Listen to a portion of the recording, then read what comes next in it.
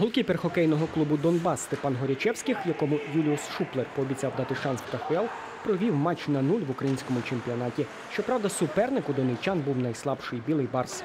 Коли команда програє перший період з рахунком 0-4, шансів на порятунок у неї фактично немає. Тому в матчі, що проходив на столичній ковзанці АТЕК, переможець був відомий вже перед першою перервою. В другому періоді у воротах Барса замість Олександра Харитонова з'явився Олександр Котов. Однак донечани закидали і далі. Дубль у грі зробив Олександр Васильєв. Три очки на рахунку Віталія Доніки. Свою п'яту шайбу в сезоні закинув кращий бомбардир донецької команди Євген Нікіфоров. Донбас виграв 7-0. Игрой доволен, но есть моменты, которые игроки моей команды должны выполнять От начала до конца. Потому что, говорю, создали много моментов и мы, создал соперник тоже моментов. Будь чуть-чуть немножко везение на их стороне, думаю, они могли забить. 7 моментов стопроцентных. Ну, извините, из 7, процент, э, 7 моментов хотя бы ну, 3 должны реализовывать.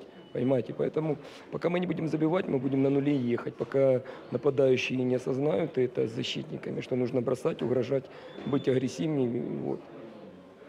И как только они это осознают, как только они э, поймут, что голы забиваются кровью, потом, сломанными руками, носами, э, начнут забивать.